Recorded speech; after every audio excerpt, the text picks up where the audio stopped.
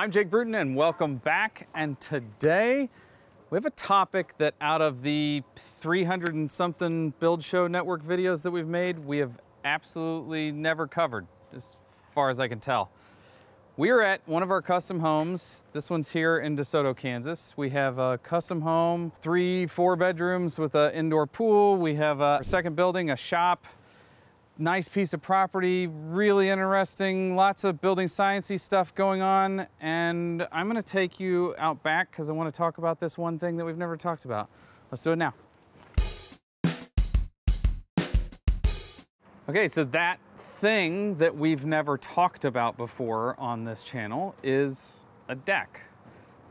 And the reason we've never talked about it is because when it comes to deck framing and decking materials, in my opinion, I've never been that particularly interested in deck framing because it's kind of, in my opinion, like the least complicated framing that we do outside of the like small minutia things that we do to make decks better. It doesn't involve any of the building science things that I get super excited about. Most people look at the deck as a thing that we don't have long drawn out conversations about. Yeah, we want a deck. Yeah, we want it to look like this. It needs to be this size. And so it's just a thing that up until this point we've overlooked. But why have that conversation today if I still kind of feel that way about them? Well, because we're doing something different on this deck and I think it's really interesting. And it's the material that we're looking at here, the material that I'm sitting on and it is PWT treated LVLs. The entire substructure for this deck outside of the posts are made from PWT treated LVLs. Why make this change is the question of the day, I guess. So I think the place to start here is what's the difference between this and dimensional pressure treated lumber? Uh, I think it's important to note even just the nomenclature that I've used so far. PWT treated LVL and pressure treated uh, southern yellow pine in our market. It's not the same as some say on the uh, west coast. You get incised lumber where they actually use something that's a little more hard to begin with and they have to poke holes in it to get the pressure treating to go further. Here in the Midwest, we get southern yellow pine that they just pressurize that and get the chemical to soak into the wood here in the manufacturing process of the LVL, that glue, that, that material process, the way that this is manufactured, the treating is throughout the board. So while PWT does say when you cut it, you should reseal the end, it's not required, it's recommended. That's just to keep it from giving a little bit of swell over time. It's not that you're actually exposing part of the board that is not treated. So if you were to take and slice a pressure treated uh, Southern Yellow Pine board like I would normally be sitting on instead of the LVL material, you would see that perimeter of treating material uh, soaking into the lumber, but you would also see a core that is not uh, treated. And so therefore, if you cut that pressure treated lumber, you have to treat that. Otherwise, you're exposing something that's not treated to the, uh, to the elements. That's not the case with this, meaning it's actually going to be okay to expose it to the elements in the long term. So number one, outside of all the other benefits that we talk about today, that should be enough of a conversation for you to go, oh, this is a completely different thing when we're looking at, we're putting a wood product outside. There are a few products in that realm that you like look at in our industry and you go, oh, this is something different. Uh, I would equate this to, say, like when we have the conversation about is zip sheathing uh, OSB. It is, but it's a completely different thing than commodity grade OSB. They're similar products. You know, there's a treating process that makes it be okay to be outside. That's what they do to pressure treated lumber. It's a similar thing, but it is not the same thing. And so I'm more willing to take a different tact with this and be excited about this in a different way than I would a pressure treated deck. So what does the manufacturer say about putting this outside? There are some stamps here. I'm not sure if you can see it from the camera or not. there is a 25 year warranty on this material. That means that the manufacturer agrees with me on this topic. They agree that this should be able to be outside for 25 years and not fall apart. Guess what? With a pressure treated deck, you don't get a warranty on that material. That wood product that you're putting outside doesn't carry any sort of warranty. And when it comes to decks, uh, what are we putting on the surface of this anymore? We're not putting a wood product on the top anymore. We're putting things like a tile decking or a synthetic decking or a metal or a concrete pan or there's all sorts of things that we're going to put on top of this that are 25 year plus products that are going to sit on top of this. We're not putting a treated floor or a cedar floor hardly anymore.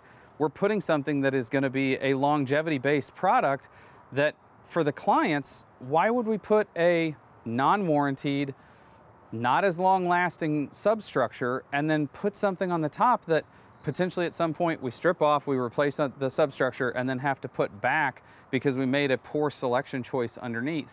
You see the same thing with other contractors or with other uh, products as well. There's a huge market for the substructure underneath lasting longer because there's been such a push for the surface that you actually get to touch and feel to last longer. And that side of the market has been an amazing uh, jump forward in the last few years. And I think it's great that PWT has responded as well. And now that we have something that has a 25 year warranty. Now, I'm sitting on an unfinished product as well. Uh, besides not having all of our hardware, we're also missing our tape layer. The tape is required. There are a couple different tapes that they recommend. I'm gonna say we're gonna use G-Tape, which is I think kind of their uh, first go-to on the recommendations. G-Tape also gives you a 25 year warranty on their tape. So 25 year warranty, 25 year warranty. A lot of the synthetic deckings have 25 year warranties. Are you catching a theme here? Like we have the ability to walk away from this with our clients and say, hey, check this out. We have a 25 year warranty on this product. You have every reason to think that this thing's gonna last. And we have a product here that is gonna go well with everything else that we've done on this high performing building. So let's talk about the other benefits that I've seen working with the product and our, our crew working with the product here. Number one, they packed less material around the backside of this building. These LVLs because the treatment is in the glue up process, it's not the same wet based treatment where you have pressure treated drying out on the job after it gets here. This stuff wasn't soaking wet when they moved it to the back. It was a dry material when it arrived. It didn't change sizes or dry out after it got here. So we didn't have big, heavy treated material that we had to pack around back. There was less of it because we have longer spans and uh, it's actually dimensionally smaller than what we would need if we were using dimensional lumber. So think of this as the same idea of when we talk about LVLs inside the building. Before we talk about flat and straight, let's talk about the structural side. And let's think about when we use LVLs inside the building. So if we were to use an LVL inside the building for a structural header, we use them in our instance because we can a lot of times get away with a one ply uh, instead of a two ply with dimensional lumber, meaning we get a better structural element out of an LVL product than we do out of dimensional lumber. The exact same thing applies here, where we have um, a two by 10 dimensional lumber is now a two by eight uh, PWT treated LVL. That means we're packing lighter material around back still. And that 2 by 8 because it's an LVL, is straighter and more dimensionally accurate, and they're all the exact same size. When we use LVLs in the other instance inside the building, uh, our scope of work that I write for every project says clear story walls and walls that get tile and walls that get cabinets. Well, why would we be worried about walls that get cabinets and walls that get tile? I can understand a clear story wall that's tall, we have different bearing capacities, things like that. But why cabinets and tile? Because they're straight. That's the exact same argument that we have here.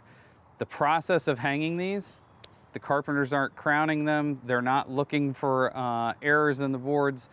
They, uh, because this deck is on a uh, an angle, that our outer rim is on an angle. They didn't hang, they didn't pre-hang their joist hangers. But if we were working with a uh, square deck, we already, I already talked to our lead carpenter, and he was like, "Yeah, we absolutely would have hung our uh, hangers first because we could have just racked every single joist in and not had to do any toe nailing to hold them in place at the beginning.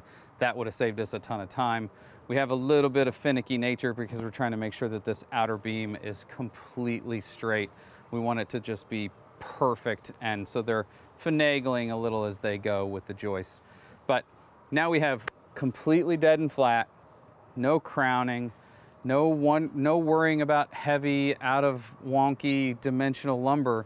It's just a system that has been less of a headache, less question marks, less dealing with the things that we get when we deal with a tree that's been cut down and then let to dry and pumped full of chemicals before it gets here.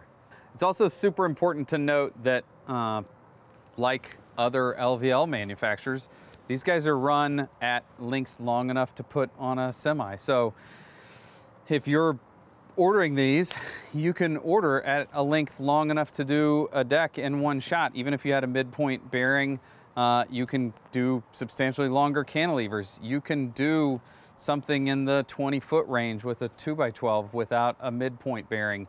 You can do three, four, five foot cantilevers potentially. Uh, and the awesome part with PWT, they have an engineering team that's here to help, to help with the design, to help call out what you're going to do to allow you to save the material, to save the time, to save the money, to make it worth using this product, to make it so that this is an easy justification where you're not just saying, oh, I want to swap this out and use this other product. You can say, I want to swap this out, I want to pay for less material total, I want to pay for less labor, I want to spend less time on this, and I want to have a higher quality product overall. Like it all maths out in the end to be something that I think once you build one, you're going to understand why the product stays on the market long term here. Stay tuned because I think you're going to like the way this deck turns out in the end. Uh, and we're going to let the guys get back to work because they're taking lunch and they're kind of done with lunch now. So, until next time, have a good day.